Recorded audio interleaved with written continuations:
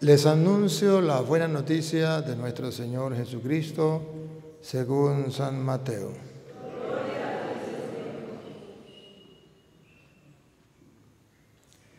En aquel tiempo, inmediatamente después de la multiplicación de los panes, Jesús hizo que sus discípulos subieran a la barca y se dirigieran a la otra orilla mientras él despedía a la gente.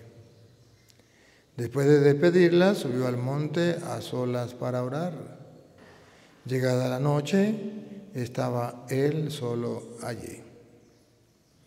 Entre tanto, la barca iba ya muy lejos de la costa y las olas la sacudían, porque el viento era contrario. A la madrugada, Jesús fue hacia ellos caminando sobre el agua. Los discípulos al verlo andar sobre el agua se espantaron y decían, es un fantasma. Y daban gritos de terror. Pero Jesús les dijo enseguida, tranquilícense y no teman, soy yo. Entonces le dijo, entonces le dijo Pedro, Señor, si eres tú, mándame ir a ti caminando sobre el agua. Jesús le contestó, ven. Pedro bajó de la barca y comenzó a caminar sobre el agua hacia Jesús. Pero al sentir la fuerza del viento, le entró miedo. Comenzó a hundirse y gritó, Sálvame, Señor. Inmediatamente Jesús lo extendió la mano, lo sostuvo y le dijo, hombre de poca fe, ¿por qué dudaste? En cuanto subieron a la barca, el viento se calmó. Los que estaban en la barca se postraron ante Jesús diciendo, verdaderamente tú eres el Hijo de Dios. Palabra del Señor. Digan conmigo, Santo y Divino Espíritu, lléname plenamente de tu luz, de tu sabiduría. Así sea. Siéntese un momentico.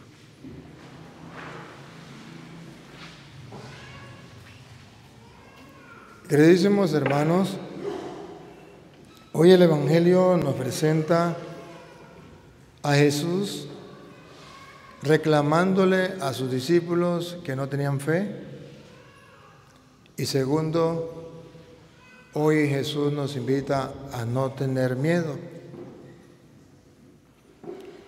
Pero me llama la atención porque la Biblia dice por qué tenían miedo.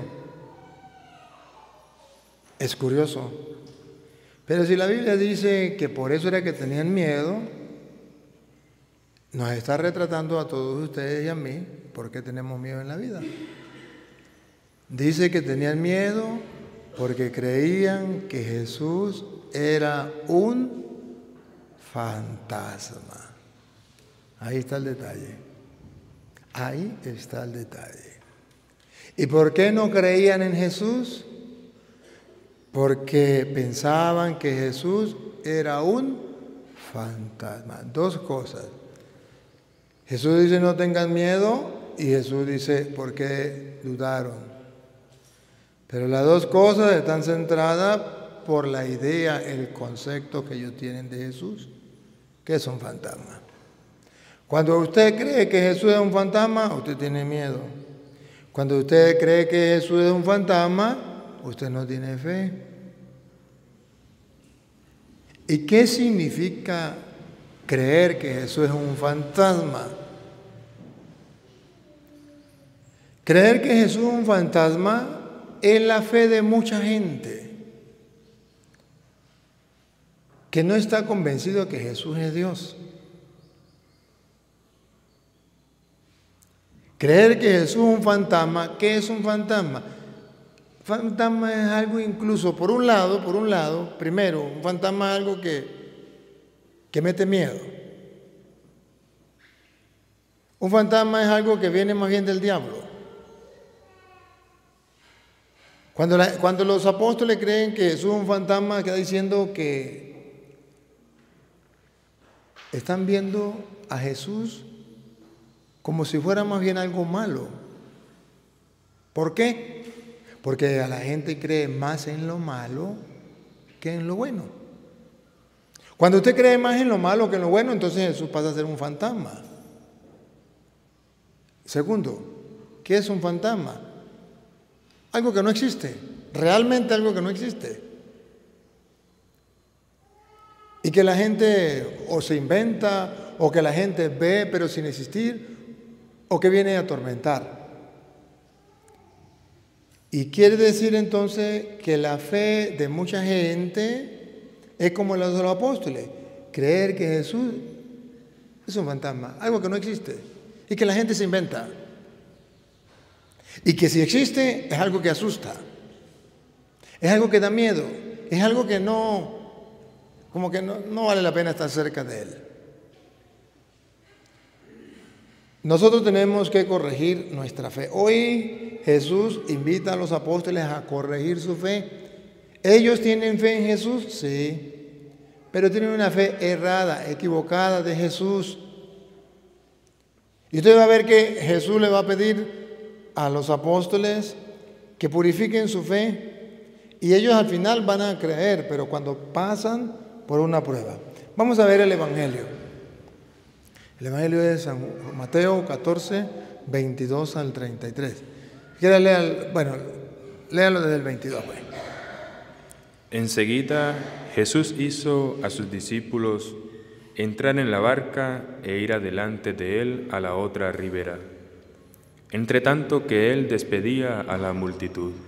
Jesús quiso que los apóstoles se fueran a la barca. Él mismo les invitó a montarse la barca que se fueran allá. Jesús quiere que pasemos por esa experiencia.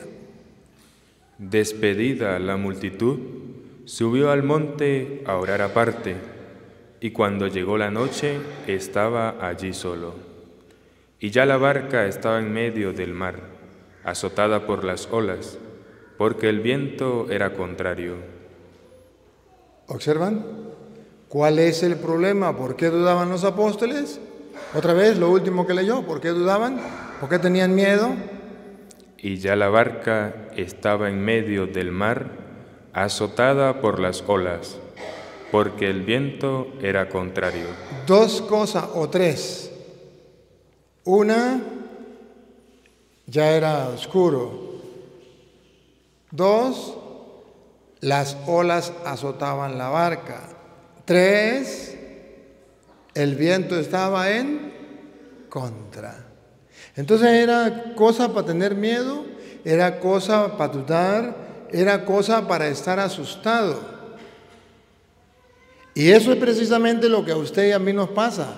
Estamos en pleno siglo XXI donde el mundo está en tinieblas, está a oscuras. Estamos en pleno siglo XXI donde las olas del mar nos sacuden. ¿Usted no ha visto ahorita sacudir la iglesia, que el diablo está sacudiendo la iglesia? Y la gente dice, se acabó la iglesia, todo se va a destruir. Ahorita, por ejemplo, viene el, signo de la sinodalidad y la gente dice, se acabó la iglesia, se destruyó todo con eso, porque eso va a ser un desastre. Los profetas del desastre dicen todo eso. Claro, claro que sí, tienen razón. ¿Por qué? Porque las olas sacuden la barca. Ahorita con el nuevo orden mundial, con la ideología de género y con toda esta cosa de ideología, que la gente, pura ideología, pura, pura tontería que se le mete en la cabeza, pues llama ideología. Algo que no es científico, algo que no es real, es pura ideología, pura idea, pura idea. Se le mete la idea en la cabeza. Y ellos quieren hacer de la vida una idea, quitando la ciencia, quitando la fe, quitando a Dios. Y esas ideologías sacuden la barca, sacuden el mundo, sacuden la iglesia. Y luego, cuando usted quiere vivir la fe, cuando usted quiere buscar de Dios, cuando usted quiere leer la palabra, cuando usted quiere vivir los sacramentos, cuando usted quiere ser santo, va a encontrar el viento en contra. O sea, estamos viviendo exactamente lo que Jesús nos retrató aquí en, esta, en este pasaje de Escritura. Una iglesia en medio de la densa oscuridad del mundo. Una iglesia zarandeada por las olas, atacada por los evangélicos, atacada por los ateos, atacada por los malos católicos, atacada por los escándalos, atacada por el nuevo orden mundial, atacada por los masones, atacada por los illuminati, atacada por, bueno, la secta satánica, por los santeros, por los babalaos, por los brujos. Es una zarandeada, las olas del mar, el viento en contra. Ustedes se dan cuenta que ahorita a nivel mundial el que hable de Cristo, fíjense usted ahorita en España, si delante de una clínica abortiva donde se matan niños, miles de niños diarios, si a ustedes lo encuentran con un rosario al frente, allá en la, carretera, en la carretera, al frente de una clínica abortiva, por el hecho de tener el rosario, aunque usted no esté haciendo nada, o aunque usted esté así, concentrado, usted va preso, porque está prohibido hacer oración. Está prohibido, incluso aunque usted esté solito, mentalmente allí, hablando con Dios, viene la policía y lo mete preso. El viento está en contra. Nadie puede decir nada a ver que los obispos, que los curas comiencen a hablar diciendo que esto, la ideología de género, es un pecado, que hombre con hombre, mujer con mujer, es un pecado. A ver si no está el viento en contra. Digan que no a matar a los niños en el vientre de la madre. A ver si el, vientre, el viento no está en contra. El viento está en contra. Y eso hace templar a la gente. Por eso hay curas asustados como Pedro y los apóstoles. Por eso hay obispos asustados. Por eso hay cristianos asustados como los apóstoles. Porque la cosa no está fácil, la cosa está difícil. Esto con el comunismo que está agarrando toda América Latina y que quiere invadir el mundo también. La, gente está asustada. Ciertamente las olas pegan, el viento en contra, una densa oscuridad, hay razón. Pero ojo, que la razón, esto no es motivo según Jesús. Jesús dice que eso tiene que suceder. El motivo es la falta de fe. ¿Por qué dudaste, hombre de poca fe? ¿Y por qué dudaron? Porque no sabían quién era Jesús y pensaban que era un fantasma. Pongan cuidado. Mas a la cuarta vigilia de la noche. Noche, oscuridad, la noche del mundo. Jesús vino a ellos andando sobre el mar.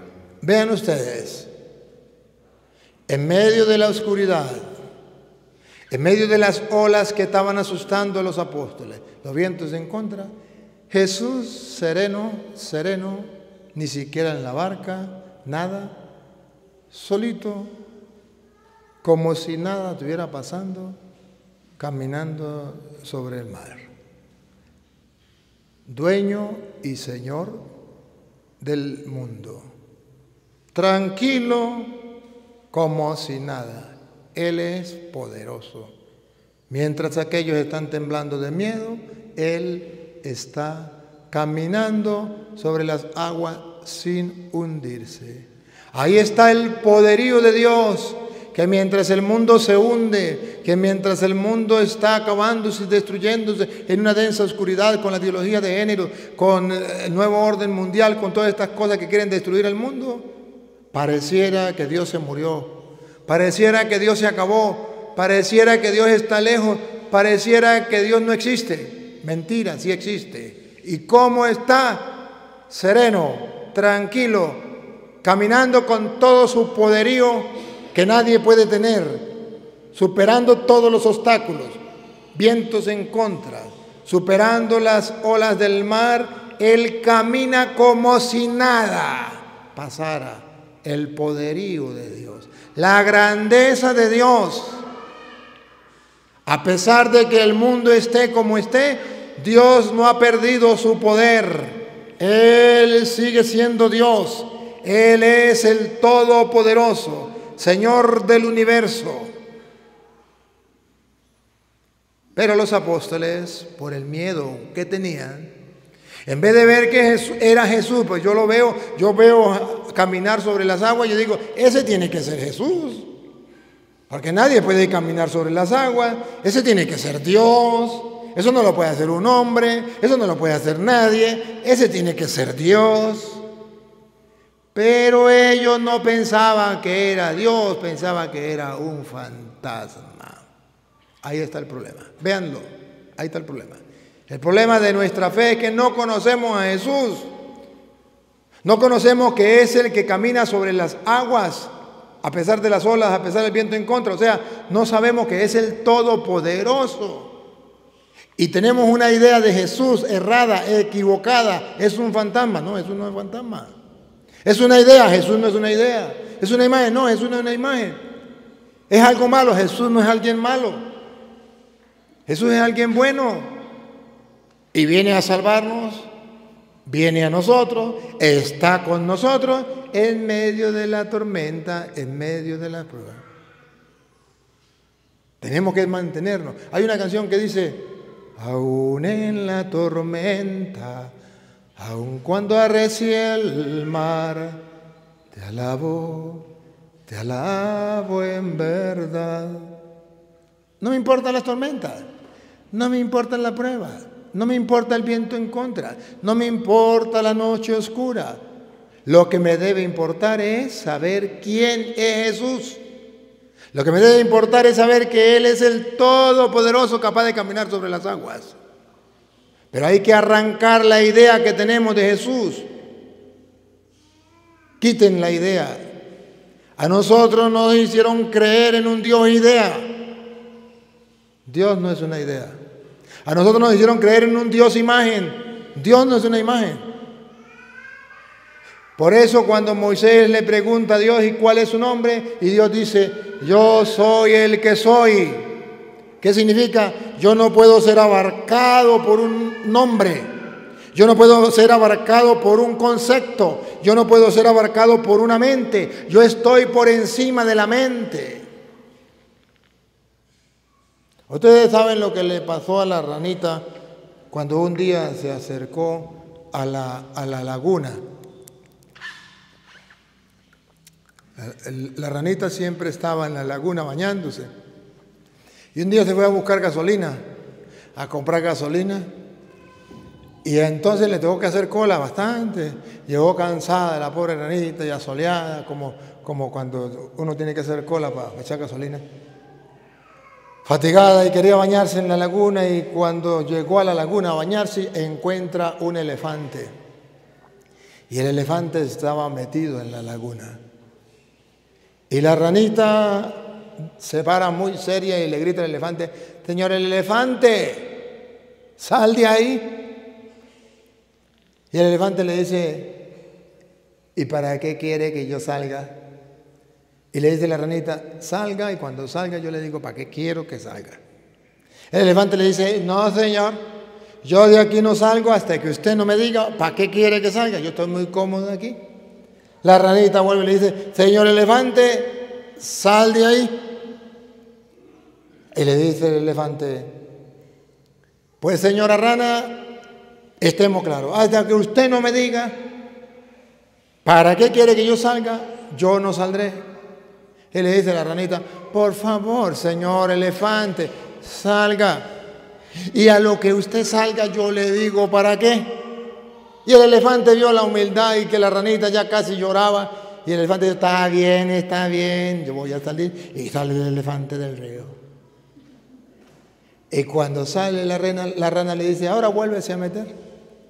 Y le dice el elefante, no señor, usted me dijo que saliera y que al salir me iba a decir para qué me hizo salir.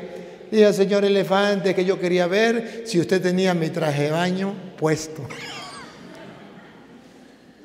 ¿Cómo iba a caber el elefante en el traje baño de la ranita? Imposible. Oye, Dios es más grande que un elefante. Dios no cabe en esta cabecita que tenemos aquí, en este pensamiento. Dios está por encima de esto. Querer abarcar a Dios con nuestro pensamiento es un error. Nos equivocamos. Pensamos que es un fantasma. tenemos una idea. Por eso San Agustín decía, lo único que puedes pensar de Dios es que es tan grande, tan grande, tan grande, tan grande, que no puede ser abarcado por nuestra mente. Es que es tan grande, tan grande, tan grande que con su sola palabra dijo, hágase el sol, la luna y las estrellas, el universo entero y todo se hizo. Listo. Cuando usted va a orar, quite la cabeza esa idea de, de cómo será Dios, quítese eso de ahí. Quítese la idea de Dios. Simplemente sepa que Él existe, está en todas partes, todo lo sabe, todo lo puede, todo lo ve. Y ahí usted comienza a quitar la idea de que Dios es un fantasma. Él es el Todopoderoso. Es el grande. Es el Santo de Israel. Y nosotros tenemos que aprender a creer en ese Dios grande y poderoso. La Biblia entonces nos presenta, no me pierda ahí, ahorita vamos para acá. La Biblia nos presenta ese Dios grande y poderoso de muchas maneras. Por ejemplo, miren ustedes que los apóstoles no sabían quién era Jesús y pensaban que era un fantasma. Pero resulta que en Mateo capítulo 9, versículo 27, vamos a encontrar dos, dos eh, ciegos, creo que eran ciegos, que se acercan a Jesús y no eran apóstoles, no eran apóstoles, no, no eran apóstoles, pero tenían una fe más clara que los apóstoles. Escuche, vamos a ver. Pasando Jesús de allí, le siguieron dos ciegos, dando voces y diciendo, Ten misericordia de nosotros, hijo de David. Y llegando a la casa, vinieron a él los ciegos y Jesús les dijo, Atención, esto es lo que Jesús quiere saber de ustedes y de mí. ¿Qué concepto tenemos de Él? Él no es un concepto, quitémoslo. ¿Qué idea tenemos de Él? Él no es una idea, quitémoslo. ¿Qué es entonces lo que debemos pensar sobre Dios? Escuchen, ¿Creéis que puedo hacer esto? Esto es la fe. Esto es lo que Jesús nos pide. ¿Otra vez? ¿Creéis que puedo hacer esto? Esto es lo que Jesús nos pide. ¿Otra vez? ¿Creéis que puedo hacer esto? A Dios no le importa que usted tenga una idea de Él, no Señor. A Dios le importa es que usted esté claro si Dios puede o no puede hacer lo que usted le pide. Eso es lo que Dios quiere que esté claro. ¿Cree que puedo hacerlo? Usted le pide por la salud de su mamá y Dios le pregunta, ¿cree que puedo sanarla? Usted le pide a Dios que le ayude en un problema que tiene y este pues no, no le encuentra salida. La pregunta es, cree que su Dios puede ayudarle, que su hijo se agarró las drogas, agarró la prostitución, agarró el mal camino y ya no hay remedio. La pregunta es, ¿cree que su Dios es capaz de hacerlo convertir? Ustedes se dieron cuenta en la pandemia, nadie se lo contó. Cuando todo el mundo estaba desesperado porque se iba a morir, se iba a acabar el mundo, que con la cuestión del tapaboca y la, vacuna, ustedes fueron testigos cuando yo llegué aquí. ¿Qué les dije? Mi Dios es capaz de, de cuidarnos. Y si nos enfermamos, mi Dios es capaz de sanarnos. ¿Se acuerda que se lo dije? A usted nadie se lo contó. Allá a la, gente de afuera yo tengo que contarles y decirles, sabe que en mi parroquia pasó esto en la pandemia, yo estoy en la, en la pandemia, y le decía a la gente que creyeran en Dios, que Dios podía cuidarnos, que Dios podía sanarnos. Ustedes son testigos. A ustedes nadie se lo contó. Ustedes lo vivieron. ¿Y cuál era el trabajo mío durante la pandemia? ¿Creen que Dios puede cuidarlos? Y cuando estaban enfermos, ¿Creen que Dios puede sanarlos? Esta es la pregunta que Jesús hace. ¿Otra vez? ¿Creéis que puedo hacer esto? Ahí está la clave. Yo creí que Jesucristo podía proteger a la Florida de la pandemia. Pregunto, ¿la protegió o no la protegió? Ustedes son testigos. ¿Por qué? Porque escucho lo que dice Jesús. Ellos dijeron, sí, Señor. Miren la fe, esta es la fe, esta es la fe. Ellos dijeron, sí, Señor. Entonces les tocó los ojos, diciendo, conforme a vuestra fe os sea hecho. ¿Se lo traduzco en castellano? Que le suceda como has creído. Que el mundo entero me diga si es verdad o mentira. Aquí está la Florida. Estoy en la Florida, en la parroquia donde vivimos la pandemia. Y ustedes pueden decir si es verdad o mentira. Sucedió como creímos. Aquí en la Florida creímos que Dios podía protegernos, que Dios podía sanarnos, que Dios podía cuidarnos. Y así sucedió, porque esa es la fe. Pero los otros países y los otros pueblos, incluso muchos curas, en medio de esa oscuridad de la pandemia, en medio de esas olas que golpeaban y ese viento en contra, que decían, eso es imposible, todo el mundo se va a morir, usted y yo tomamos la decisión de creer que Dios era poderoso, que podía caminar sobre las aguas, pero el mundo creía que Dios era un fantasma. Al punto que cerraron las iglesias, al punto que dejaron de orar, de buscar de Dios. ¿Por qué? Porque ese Dios que ellos tenían en la cabeza era un Dios fantasma, un Dios que no existe, un Dios mentira, un Dios falso, en todo caso un Dios que asusta y mata, y por eso la gente no iba a comulgar y las iglesias la cerraron.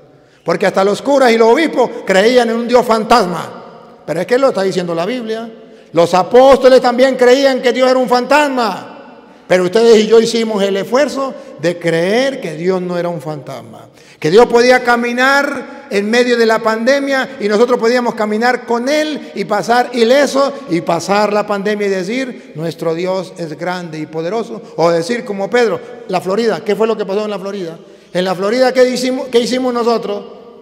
En medio de la pandemia, decirle, Señor, si eres tú, haz que camine sobre las aguas.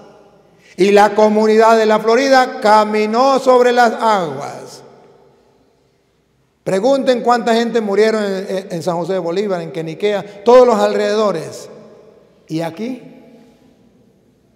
¡Qué maravilla! Caminamos sobre las aguas por una chispa de fe. Porque Jesús nos pregunta, ¿cree que puedo hacerlo? Y nosotros le dijimos, Sí, Señor, yo creo que puedes hacerlo. Tú no eres un fantasma. Necesitamos gritarle al mundo porque ustedes, la Florida, son semilleros de fe. Ustedes tienen una fe que se tiene que exportar al mundo entero. Y tenemos que decirle al mundo que nuestro Dios no es un fantasma, que nuestro Dios está vivo, que es capaz de caminar sobre las aguas aunque el viento esté en contra, aunque las olas le peguen. El mundo perdió la fe en ese Dios. El Dios del mundo ya es un Dios chiquito, ya es un Dios más bien fantasma que asusta. Cuando vieron, cuando vieron a Jesús en el agua, ¿qué pasó?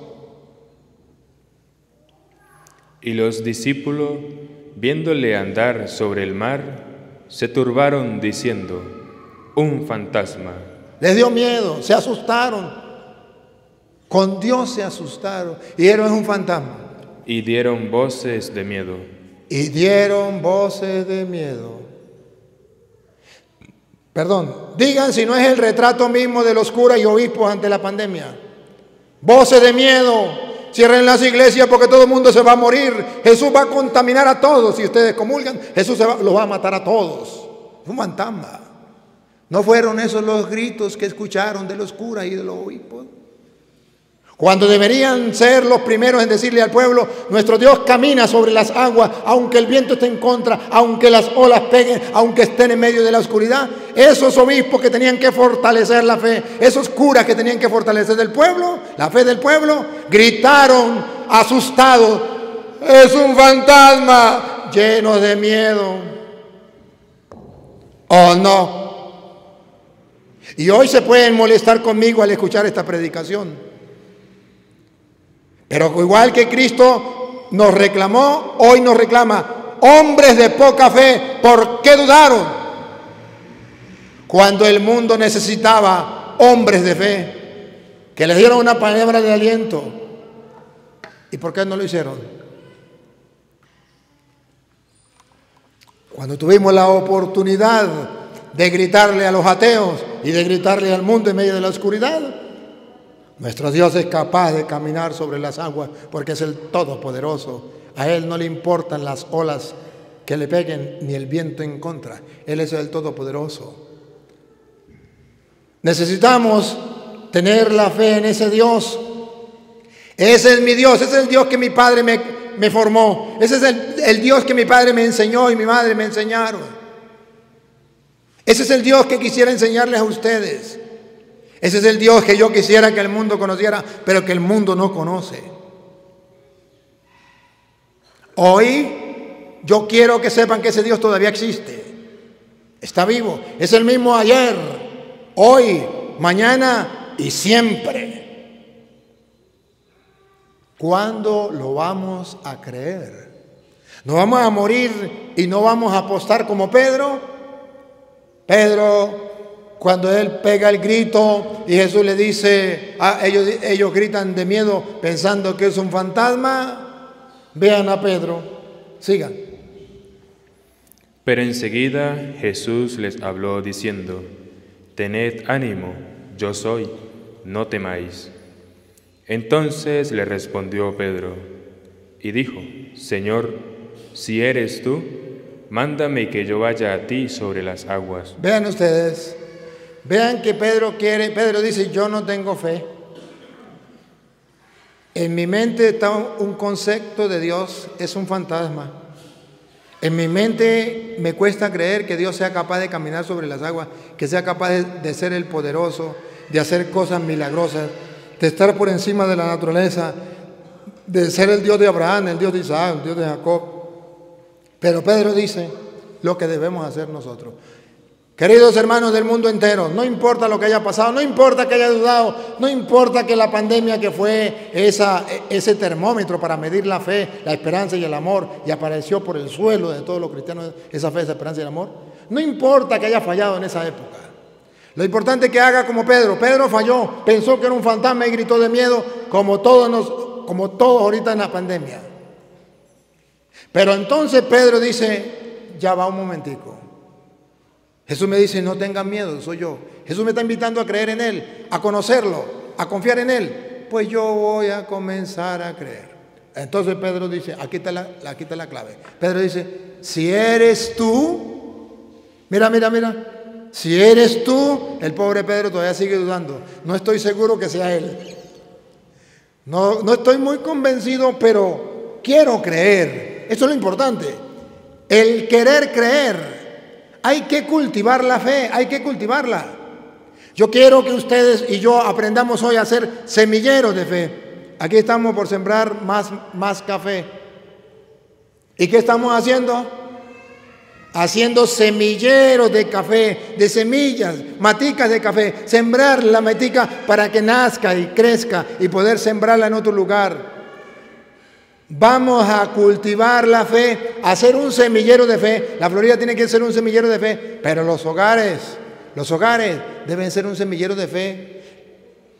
Las iglesias deben ser un semillero de fe. La catequesis debe ser un semillero de fe. Los grupos de apostolado deben ser un semillero de fe. ¿Cómo? Pedro le dice, si eres tú, mira, mira, mira, manda, manda. Yo quiero creer en tu palabra. Manda. Manda significa lo que tú digas, yo creo. Voy a comenzar a creer en la palabra. Manda. Ahí está la palabra. Otra vez, léalo a ver. Si eres tú.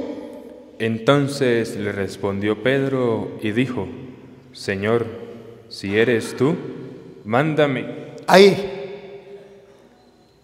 Pero entonces quiere cultivar la fe a través de la palabra de Jesús. Mándame que yo vaya a ti sobre las aguas. Mándame. Siga. Y él dijo, ven. Listo. Jesús le dice, ven.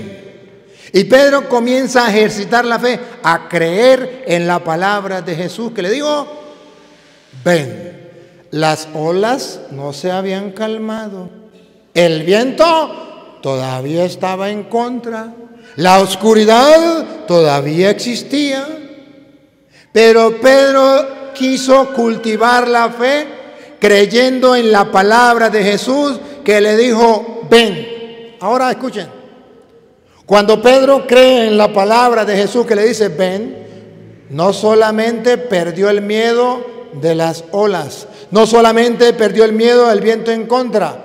¿Qué hizo Pedro? Y descendió Pedro de la barca, andaba sobre las aguas. ¿Escucharon?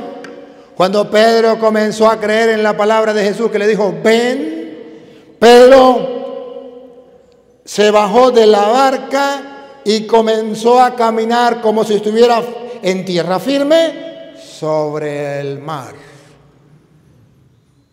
Ese es el reto que Dios te hace y el reto que Dios me hace. Comenzar a tener un semillero de fe en tu vida, en tu hogar, en tu familia, en tu comunidad. Un semillero de fe creyendo en la palabra. Y al creer en la palabra, las olas todavía seguían dando. El viento en contra, pero Pedro creía en la palabra. Y se lanzó. ¿Quién de ustedes hubiese lanzado en medio de tantas olas, el viento en contra, noche oscura? El temor todavía estaba, pero había algo que se llama la fe. Y eso es lo que yo quiero resaltar hoy. La fe es no que se acabaron las tormentas, las tormentas existen. Se acabaron los vientos en contra, las olas que sacuden la barca, eso no se van a acabar nunca. Siempre van a existir. Entonces, ¿qué es la fe? La fe es creer en la palabra de Dios a pesar de que las olas peguen. A pesar de que el viento esté en contra, yo apuesto a Dios. Yo confío en Él, en su palabra. El mejor ejemplo, la pandemia. A pesar de que los curas decían, hay que cerrar las iglesias, hay que dejar que la gente se muera sin confesión, los doctores, los sabios doctores científicos decían, el que no se vacune, el que no se ponga el tapabocas se va a morir y va a contagiar a la familia, se va a morir la familia entera, se va a morir el pueblo. Yo dije, mi Dios donde quiera está y es poderoso. Yo no creo en los hombres, yo creo en Dios. Apuesto a Dios. Olas en contra. Olas que atormentaban. Vientos en contra. Noche oscura. Tenemos la oportunidad de cultivar la fe. Dios no quiere que usted y yo muramos sin creer en el Dios verdadero, en el Todopoderoso. Dios quiere que usted y yo tengamos confianza plena.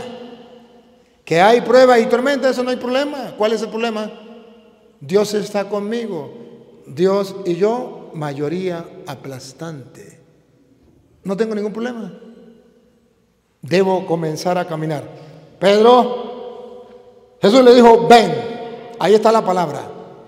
¿Qué hago? ¿Me lanzo o no me lanzo? La palabra dice, ven. La palabra de Dios me dice, ven. Pero, ¿me bajo de la barca al mar? Lo más seguro es que me hunda. La ciencia me dice que me hundo. La lógica me dice que me hundo. La razón me dice que me hundo. Pero la fe me dice que no me hundo. Que Él es capaz de hacerme caminar sobre las aguas. Y Pedro se dio el lujo que nadie se había dado. Bajó y caminó sobre las aguas. Listo. Porque centró la mirada no en las olas, no en el viento, sino en la palabra de Dios que decía, ven, ven. Miró a Cristo y escuchó su palabra y se fue en dirección a Cristo. ¿Esa es tu fe? ¿Esa es mi fe? Pues si no lo es, vamos a ejercitarnos. Pero ¿qué pasó? La Biblia dice entonces, la Biblia dice que, a ver, antes de mostrarle qué dice allí, vuelvo ahí, Mateo 8, 2. En San Mateo 8.2 no viene a decir otra vez de nuevo cómo es que Jesús quiere que creamos. Jesús le dice a los apóstoles, ¿por qué dudaron hombres de poca fe? Pero en Mateo 8, 2, Jesús dice cómo debe ser nuestra fe. Escuchemos.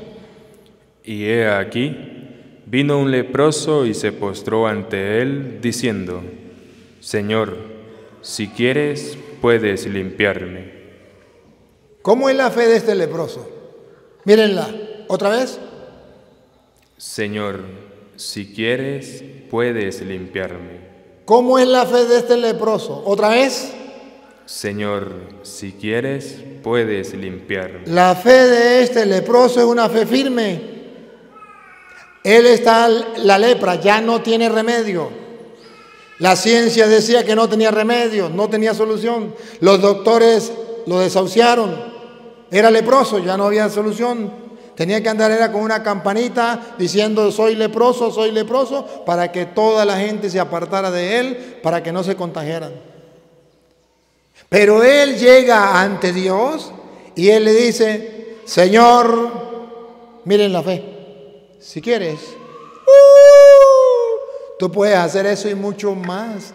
Si solamente dijiste, hágase el sol y el sol se hizo. Uh, dijo, hágase las estrellas y las estrellas se hicieron. Uh, dijo, hágase la tierra y la tierra se hizo. Uh, dijo, háganse las plantas, háganse los animales y todo se hizo. Señor, si quieres, esta es la fe firme, esta es la fe sólida, esta es la fe verdadera, esta es la fe que hace falta en el mundo. Si quieres, puedes curarme. O sea, no dudo de tu poder. Tú lo puedes todo, todo, todo, todo. Yo estoy convencido ciento por ciento. Esa es la fe que Dios quiere que tú tengas y que yo tenga. Pero esa no es la fe que tenemos. Esa no es la fe que tiene el mundo. Esa no es la fe de los curas. Esa no es la fe de los obispos. Esa es la fe que Dios nos pide en la palabra de Dios. Pero estamos fallando. Por eso Jesús reclama hoy, hombres de poca fe. ¿Por qué dudaron? ¿A quién? A sus apóstoles. Igualmente que hoy le reclama a los obispos, hombres de poca fe. ¿Por qué dudan? a los curas, hombres de poca fe, ¿por qué dudan? A los laicos, hombres de poca fe, ¿por qué dudan? Pero este, este leproso no tenía duda. La lepra era seguro que iba a morir como el que le daba coronavirus.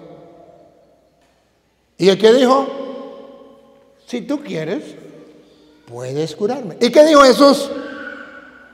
Jesús extendió la mano y le tocó. Jesús extendió la mano y lo tocó. Vean, Vean. Diciendo, quiero, ser limpio. Diciendo, quiero. Diciendo, quiero. O sea que el Dios del el Dios en que creía el leproso era el Dios todopoderoso. Si quiere puede limpiarme. Y Jesús dijo, si quiero, queda limpio. Ah, el leproso sabía que Dios podía hacerlo y que si no lo hacía no era porque no podía, sino porque no quería. Pero le sobraba poder y Jesús le dijo, si quiero, queda limpio y quedó curado. Amados hermanos, a nosotros no nos han enseñado esta fe. A nosotros nos enseñaron una fe superficial. No nos han enseñado lo que es la verdadera fe. Por eso ustedes pueden ver, por ejemplo, en Hebreos capítulo 11, versículo, leámoslo desde el 6 en adelante, para que vean ustedes cómo la Biblia nos pide que tengamos una fe y nos pone ejemplos, nos pone ejemplos de fe. A ver, si usted y yo caemos en ese ejercicio de fe, o preferimos ser como los apóstoles, quedándome, gritando, es un fantasma, Dios no puede hacer eso, Dios no puede caminar sobre las aguas. Eso es un milagro muy grande. Dios es Dios, pero no puede hacer eso. Hasta allá no llega, hasta allá no llega mi Dios. Ese es el problema que tenemos. Va, Hebreos 11:6. Pero sin fe es imposible agradar a Dios. ¿Escucharon? Católicos, obispos, sacerdotes, seminaristas, religiosas, religiosos, laicos. ¿Otra vez? Pero sin fe Pero sin fe, es imposible agradar a Dios. a Dios no le agrada un cristiano sin fe. Por eso la crisis más grande del mundo es la fe, falta de fe. Por eso el mundo se va hundiendo por su falta de fe. Por eso los cristianos nos hundimos cuando nos falla la fe. No agradamos a Dios. A Dios no le agrada un cura sin fe. No le agrada un seminarista sin fe. No le agrada un obispo sin fe. No le agrada un laico sin fe. Eso no le agrada a Dios. No le agrada un músico sin fe. No le, no le agrada que usted venga a misa sin fe. ¿Otra vez? Pero sin fe es imposible agradar a Dios. La palabra imposible significa imposible. Imposible agradar a Dios. Sin fe. ¿Qué está diciendo la Biblia? Vamos a cultivar la fe. Vamos a hacer semilleros de fe. Vamos a hacer ejercicios de fe. ¿Qué estamos esperando? Un día le preguntaron a San Agustín, llegó un hombre y le dijo, ¿sabe, Agustín, que estoy perdiendo la fe?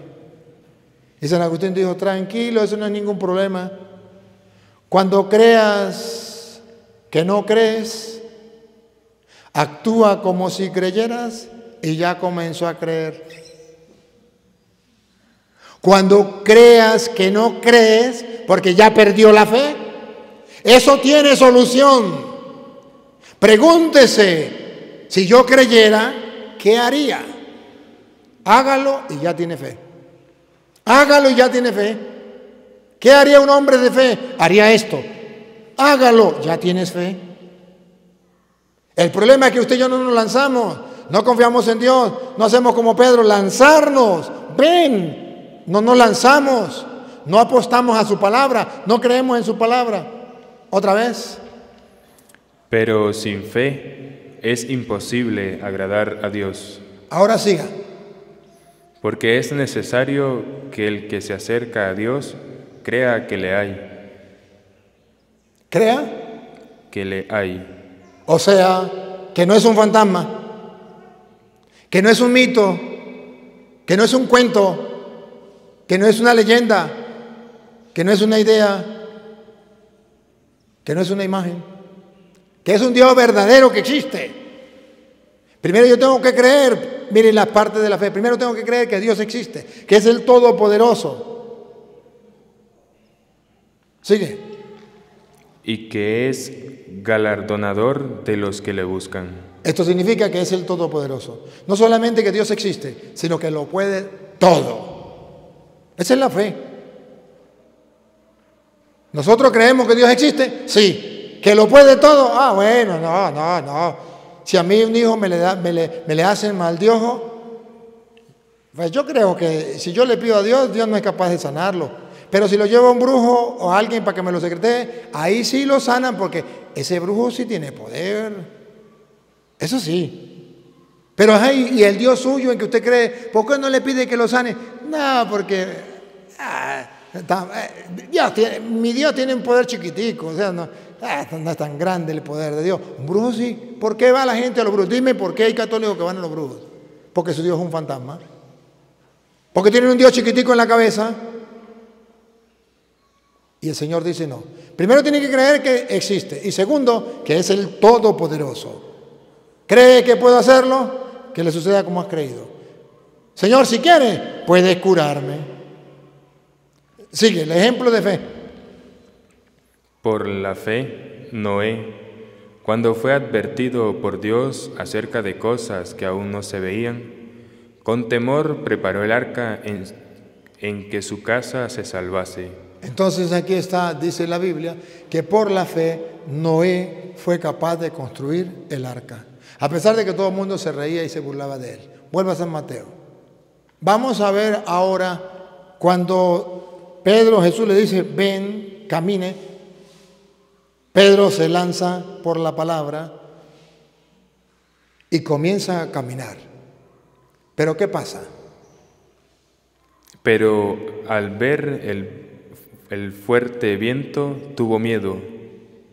Ahí está. En un momento creyó en la palabra. Creyó en Dios. Pero ya perdió la mirada en Dios y en la palabra. Quitó la mirada en Dios y la palabra. Y ahora puso la mirada en qué? Al ver. Pero al ver, Puso la mirada otra vez. pero al ver, Observen que puso la mirada, puso los ojos otra vez. pero al ver, ¿Qué fue lo que vio? Quitó la mirada en Cristo, quitó la mirada de la palabra y puso la mirada en qué? el fuerte viento, Ahí está el error. Ahí está el error.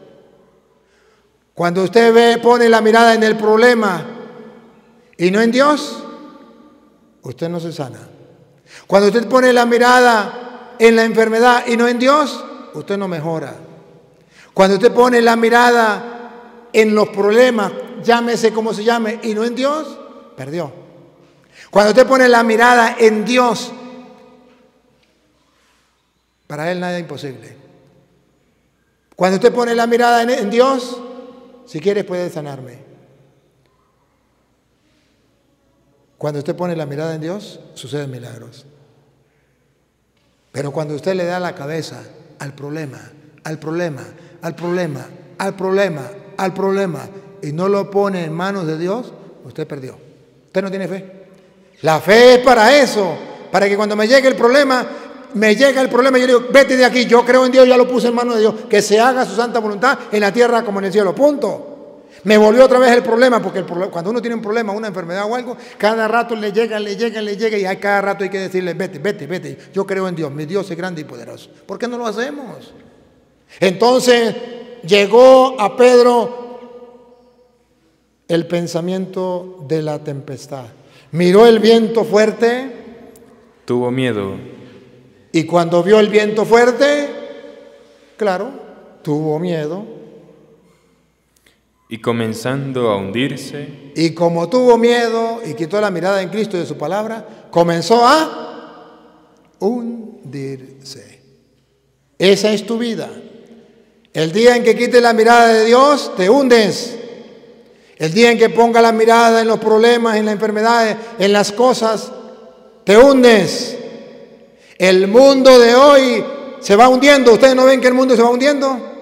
Cada día peor. Cada día peor. Cada día peor. Cada día peor. ¿Por qué? Por falta de fe. Por falta de creer en Cristo. Por poner la mirada en los problemas antes que en Dios.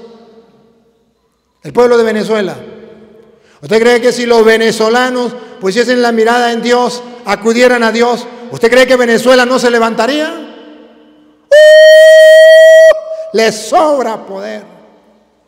¿Usted cree, ¿Usted cree que Dios no haría justicia? ¡Uh! Le sobra poder. Pero ¿qué pasa? Que la gente dice, esta no lo arregló el presidente que se murió, que ese era el Superman, ese era el, el eterno, el comandante supremo y eterno, esto no lo arregla nadie. Y Dios, ah, es un fantasma. Dios es una idea. Dios es grande, pero, pero es que este, lo que tiene Venezuela ya no lo arregla nadie. ¿Me captan? El mundo, el mundo ya está vuelto nada, esto no lo arregla nadie, esto no, no, no, el nuevo orden mundial se lo tragó y lo destruyó completo, no lo arregla nadie. ¿Que no lo arregla nadie? Ah, bárbaro, ¿no? Ya comenzó a hundirse. El mundo se está hundiendo porque ustedes y yo no hemos puesto la mirada en Cristo. Porque no confiamos en Él, que es el Todopoderoso. Ya basta, ya, ya basta, vamos a creer en Él. Sigue. dio voces diciendo, Señor, sálvame. Ahí está. ¿Qué es lo que deberían hacer los venezolanos? Otra vez, dar voces. Diciendo, No, no, dio voces. dio voces diciendo, Señor, sálvame. ¿Qué es lo que tenemos que hacer los venezolanos cuando vemos que Venezuela se hunde? se hunde, se hunde. Comenzar a dar voces a Dios, poner la mirada de nuevo en Él y decir, Señor, sálvame. Reto a los venezolanos que me escuchan, hagámoslo a ver si no, si no vemos cambiar las cosas. Hagámoslo. Dejemos de maldecir, dejemos de insultar y pongamos la mirada en Dios y digámosle, Señor, salva Venezuela, sálvanos en oración, creyendo que Él es el Todopoderoso y puede hacerlo. En un abrir y cerrar de ojos aparecerá una noticia que nos alegrará el corazón y podemos decir, Venezuela cambió. Pero si no ponemos la mirada en el Señor, y si no clamamos como Pedro cuando se estaba hundiendo, si todavía andamos entonces como los, como los católicos en Venezuela, pasivos, no hacemos nada, el barco se hunde, mi querido capitán, el barco se hunde, mi querido capitán. Y no hacemos nada, se va hundiendo, pero no oramos, pero no suplicamos, pero no clamamos con fe puesta en Dios que todo lo puede, nos vamos a hundir totalmente. Ya es hora de levantar la fe, de confiar en Dios y decir que sí se puede, que vamos adelante con la mirada puesta en el Señor. Señor, sálvame. Ahora vean la respuesta de Jesús. ¿Qué haría Jesús con los venezolanos? ¿Qué haría Jesús con los cristianos en el mundo? Si los cristianos en el mundo levantáramos una voz, levantáramos en oración, ¿qué haría Cristo? Pongan cuidado. Al momento. De una vez, inmediatamente, hizo facto. ¿Otra vez? Al momento. De una vez, inmediatamente, hizo facto. ¿Otra vez? Al momento. De una vez, inmediatamente, hizo facto. Jesús extendió la mano, asió de él y le dijo, hombre de poca fe, ¿por qué dudaste? Lo sacó. Inmediatamente lo sacó. Jesús no se hace, no se hace esperar. Quiere, está dispuesto a salvarlo. Pero, pero la queja es la misma. Hombre de poca fe, ¿por qué dudaste? Papá Dios, te pedimos que aumente nuestra poca fe, que podamos creer en ti no como un fantasma, algo que a lo mejor no existe, o algo que es malo, o algo que es una idea, un mito o una leyenda. Que podamos creer en ti en medio de las persecuciones, las pruebas, las tormentas, los vientos en contra, las noches oscuras, que podamos mantener nuestra fe firme, que no dudemos a pesar de los pesares, que apostemos a ti y que cuando nos sintamos hundir volvamos a clamar, Señor, sálvame, pues estamos seguros que tú no dejarás de auxiliarnos. Y a ti Dios que quiere que todos los hombres se salven y lleguen al conocimiento de la verdad. A ti sea la gloria, el honor, el poder, la adoración por los siglos de los siglos.